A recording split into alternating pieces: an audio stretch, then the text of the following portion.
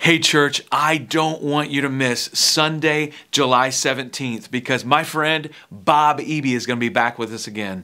Bob is a professor at Evangel University and, and the Assemblies of God Theological Seminary, but Bob is, is just a, a great man of God. He's a great communicator. And you might remember last fall he was with us in our First John series, and it was one of the first Sundays that he had had the opportunity to preach since he had a heart attack last summer and quadruple bypass surgery. Do you remember any of that story of Bob?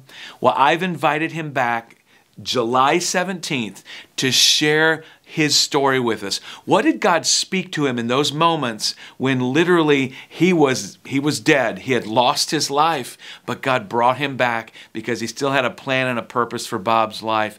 I want you to hear the story. In fact, I want to encourage you bring people with you that need to hear the encouraging story of the power of God. Sunday, July 17th. Don't miss it.